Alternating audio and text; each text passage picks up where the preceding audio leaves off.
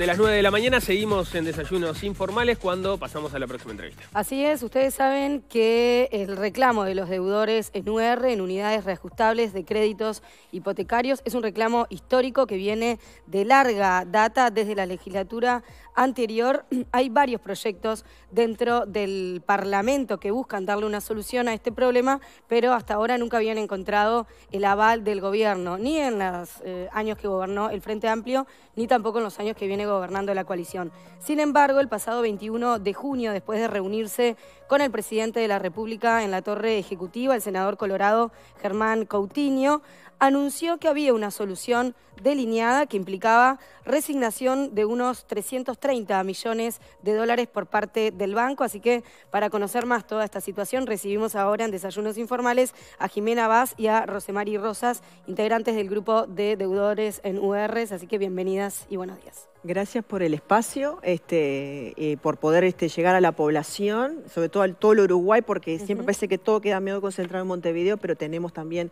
gente en esta situación desde hace mucho tiempo en el interior. Este, como bien vos decías, eh, finalmente este grupo logró, después de tanto trabajo, conseguir la sensibilidad política que hasta el momento no se había podido lograr. Este grupo del Ministerio de Economía, los legisladores han trabajado fuertemente en el tema y hoy podemos decir que tenemos, estamos frente a una solución.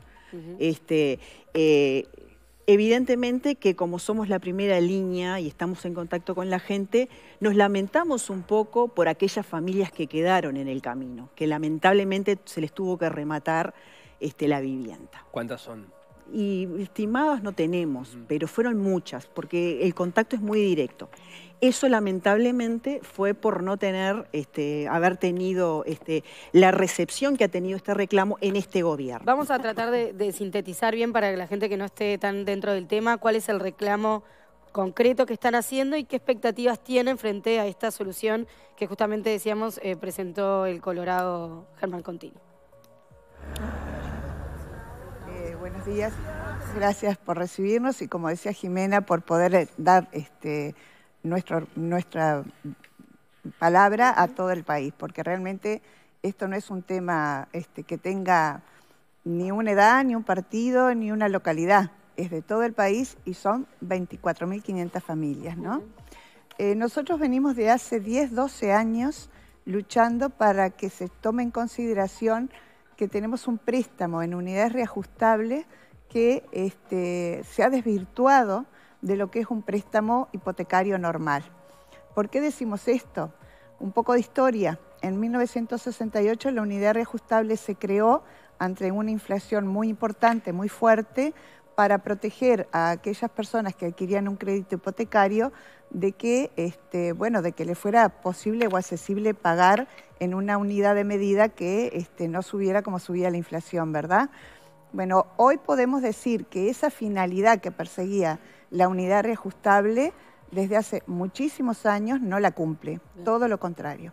Nuestro crédito a lo largo de los años se ha ido aumentando eh, de, una manera exponencial porque eh, se ha ido, la unidad reajustable ha ido aumentando de tal manera que hace que los créditos sean impagables y que la ecuación económica que nosotros tomamos en consideración al firmar ese préstamo se ha visto totalmente este, desvirtuada, ¿no? Al punto de que nosotros este, terminamos por pagar el mismo crédito eh, cinco o seis veces más su valor, ¿no? A veces tres, a veces cuatro, depende de la antigüedad. Estamos hablando de gente que hemos contratado desde el año 70 y pico, 80 y pico, 90 y pico, y muy pocos en la década del 2000, pero la mayoría llevamos 30, 40 años pagando, ¿no? Eh, es importante esa puntualización y de cuándo surgen los, los créditos, porque tiene que ver con, esta historia, justamente. El, al pagar por eh, UR, la, unidad reajustable se ajusta por el índice medio de salarios, todo esto surge y, se da en un contexto donde la inflación estaba por encima del crecimiento del salario.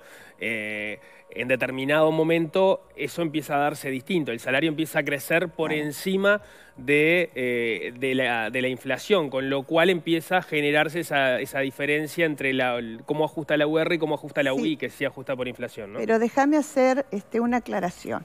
Cuando dicen eh, la, unidad reajustable reajusta por el índice medio salario o por el salario, como tú lo dijiste globalmente, que la gente no se confunda. Nosotros no tenemos el mismo aumento de cuota que lo que tenemos de salario, porque eso es un error.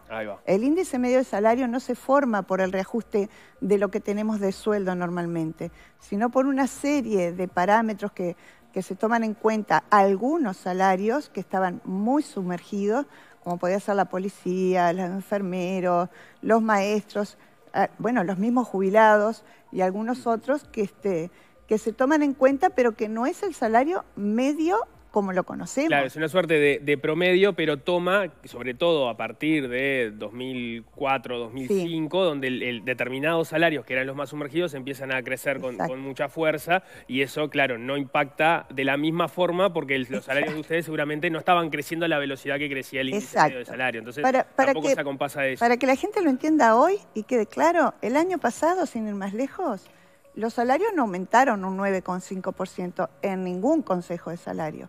Y la unidad reajustable en septiembre, que es cuando nos aumenta la cuota, reajustó, la cuota reajustó un 9,5%. Entonces, no es que, la gente pueda pensar, bueno, pero si les aumentan el salario es lógico que le aumente la cuota, porque yo no conozco a ningún consejo de salario del año pasado, del 2022, que haya reajustado casi un 10%, y sin embargo la cuota reajustó un 10%, casi un 10%, no llegó al 10%. Pero entonces eso te demuestra claramente que hay una diferencia. Lo mismo cuando dicen la unidad indexada aumenta todos los meses y la OR aumenta solo en septiembre. No, la unidad reajustable aumenta todos los meses, al igual que la unidad indexada. ¿Que la cuota reajusta solo en septiembre? Sí, pero reajusta solo en septiembre tomando en cuenta los 12 meses anteriores. O sea que finalizado, el reajuste viene a ser el mismo. Pero además tenés también, en, en nuestro grupo tenés trabajadores independientes. que las cuotas les reajustas, pero ellos son trabajadores independientes, que son uno de los reclamos que, hemos tenido. Y no se olviden que la única solución que tenés dentro del banco hipotecario es la refinanciación. Es la única. Eh, y es, un engranaje que si bien no es usura, pero ese engranaje de refinanciación y de calecita que hace la gente, te lleva a eso, a que sí, en realidad es una usura. No se lo considera usura, pero nosotros le decimos por eso, porque te, lleva a que vos seas presa del banco hipotecario de por vida. No hay manera de salir. Bueno, eso Y nosotros hemos atravesado muchas crisis este grupo. 2002 la gente no tuvo otra que refinanciar y las opciones eran esas. Y eso es lo que no se contempla. Porque nosotros entendemos que tienen que haber políticas que cuiden a estas personas. Somos el eslabón más débil de toda esta cadena. El banco hipotecario está fuerte. El banco hipotecario podría haber dado respuesta hace mucho tiempo a este grupo. Y sin embargo no lo hizo. Sin embargo decidió cuidar la institución y no cuidar a la gente. Nosotros entendimos, porque golpeamos muchas puertas y explicamos esta problemática, de que lo mejor era ir por el camino del medio. Entonces, ahora que tenemos el, banco continúa fuerte porque fueron expresiones de la presidenta del Banco Hipotecario, que nos llamó la atención porque hace, meses atrás dijo que si a los deudores se le arreglaba la deuda, la, la situación, el Banco Hipotecario por dos, tres meses no podía dar crédito. Dos, tres años. Dos, tres años. Hace 15 días dijo que iba a aguantar el cimbronazo que iban a, iban a arreglar y que...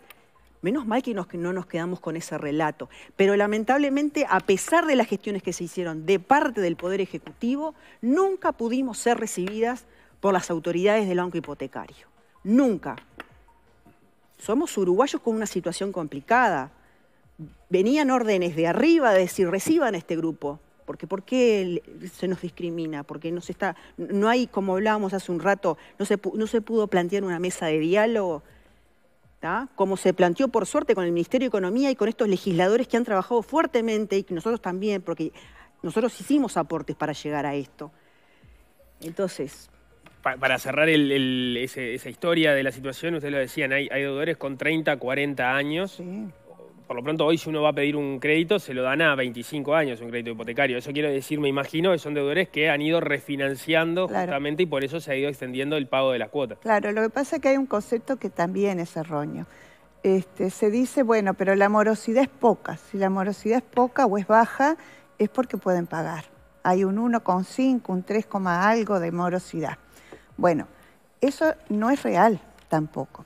Este, ya en la Comisión de Vivienda, tanto en el periodo anterior, cuando se estudiaba el, proyecto de Heber, como actualmente al estudio de estos proyectos, las autoridades de, Agencia Nacional, de Banco Hipotecario y del Banco Central y del Ministerio de Economía que concurrieron, este, reconocían que hay un 34% más o menos de familias que tienen que, lo que ellos llaman la reestructura, que después se transforma en lo que son los colgamentos, ¿verdad?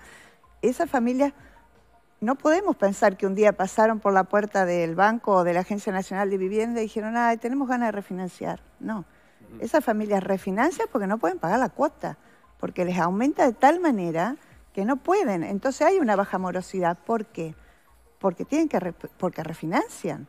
Porque tú te atrasas un mes, recibís una carta, te atrasas dos, recibís dos cartas, te atrasas tres, recibís tres cartas y después están autorizados por ley a hacer un remate administrativo que ni siquiera necesita el tiempo de una instancia judicial. Y te mandan el telegrama diciéndote que te van a rematar. Que las refinanciaciones encubran la morosidad de alguna manera. Es decir, que cada, cada refinanciación era una situación que si no iba a caer en la morosidad. Y es clarísimo. Si tenés un treinta y pico por ciento de, de, reestructuras, como le llaman ellos, por, este, en el banco, es porque indudablemente esa gente no pudo pagar. Porque además hay un razonamiento que es muy básico, yo entiendo que es muy básico para los economistas y todo lo demás, pero yo digo, si la unidad reajustable es tan maravillosa y tiene tantas virtudes frente a la unidad indexada, ¿por qué se creó la unidad indexada? ¿Por qué no se presta más en unidad reajustable? ¿Por qué la única unidad de medida, no solo a los bancos hipotecarios y a la Agencia Nacional de Vivienda, sino en toda la banca privada, es la unidad indexada? Porque son malos y quieren perjudicar al deudor que toma préstamo hoy? No, porque se dieron cuenta que la unidad reajustable no funciona.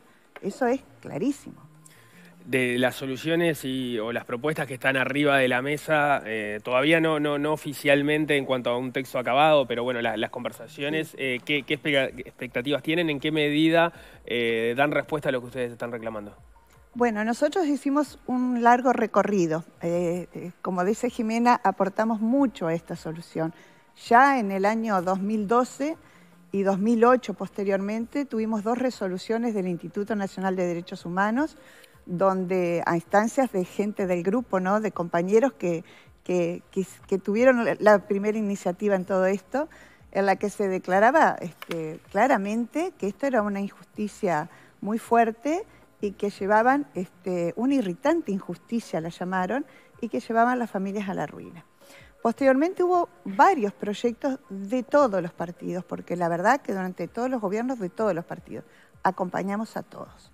Con este gobierno nosotros lo que vemos de diferente es que se nos abrió una mesa de diálogo, se nos escuchó, se nos atendió, que nunca antes nos había pasado, ¿verdad? Bueno, el presidente dijo que él tenía un compromiso de campaña y ha dado este, lineamientos de que quiere que esta solución salga.